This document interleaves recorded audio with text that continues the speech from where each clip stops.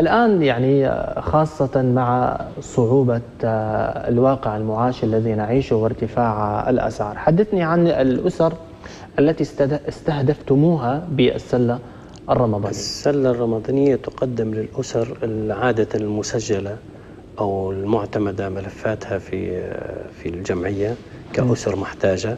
آه، أخذت عنها آه، جميع المعلومات زي ما تكرر الأستاذ أبو بكر التحري وزيارات و وطلب أوراق معينة تثبت آه، احتياج هذه الأسرة. هذم يتلقون المساعدة طيلة أيام السنة حسب. وإحنا عندنا طبعا مبدأ إن إحنا يجب إن نتنافسوا مع الأسرة إن إحنا الأسرة تطلع من المساعدة. كيف كيف الأسرة تطلع من مساعده الجمعيه بتوفير الشيء اللي يخليها ما عادش محتاجة. مثلا, مثلا توفير فرصة عمل لأحد أفرادها؟ أحد أحد الجوانب هذه. يعني إذا كان الأسرة محتاجة في شيء صحي فقط لولي الأمر أو للأم نقوم إحنا باستيعاب هالمشكلة هذه أو تقديم المساعده كاجراء عملية جراحية مثلا. إحنا نعم. ساعدنا حالات في إجراء عملية آه، جراحية في مصحات خاصة أو في حتى في في تونس. يعني قمنا برعاية عمليات جراحية عدة. فهذه المشكلة الوحيدة اللي تكون للأسرة. لما إحنا نحل هالمشكلة هذه يعني إحنا يبدأ عندنا نجاح في إن إحنا نقللوا من عدد الأسر المحتاجة. فحسب احتياجها. نعم. فكتوفير فرص عمل آه للولي الأمر أو لأحد الأبناء أو أحد البنات. فهذا نجحنا فيه إلى حد كبير بمساعدة أو بتعاون المؤسسات في المنطقة أو حتى في شركات خاصة أو رجال أعمال. فهذا يعني لقينا فيه نجاح كويس نعم. ومؤثر.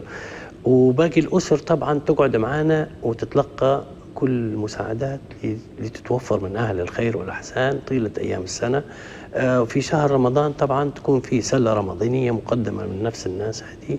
آه، إحنا فقط نديروا آلية متبعة كتوقيت أو توقيت زمني إن بداية شهر رمضان نعطوا سلة وفي منتصف شهر رمضان نعطوا سلة. وإذا كانت توفرت بعض الملابس لعيد الفطر أو بعض الأموال. نعم ما الذي ما الذي تحويه هذه السلة؟ السلة أطعمة تحوي مال. أطعمة ممكن على سبيل المثال زيت طماطم سكر أرز شربة آه، المونة العادية حليب. الليبية هذه. بالضبط المونة العادية والأشياء الأساسية في الاستهلاك الغذائي.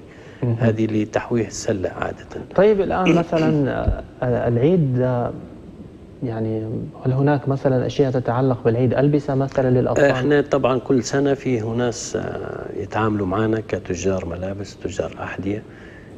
يعني كل سنة يمدونا ببعض الملابس.